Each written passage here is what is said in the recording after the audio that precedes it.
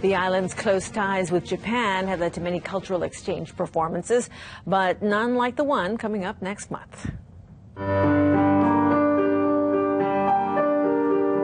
Masaaki Takahashi can play any piece of music after hearing it only once. He has perfect pitch, perfect tone. His ear is acutely developed for music, perhaps because he cannot rely on his eyes.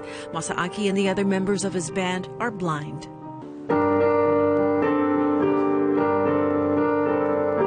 When not performing, they're at the Hikari no Ie, the Tokyo Lighthouse for the Blind.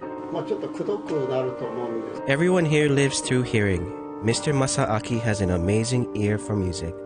Others join him, and when not working at the center, they play music.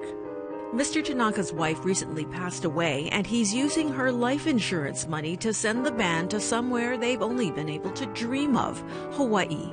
The nine members, many with other disabilities, will play at the downtown YWCA on Richard Street in two weeks in a performance that pays it forward.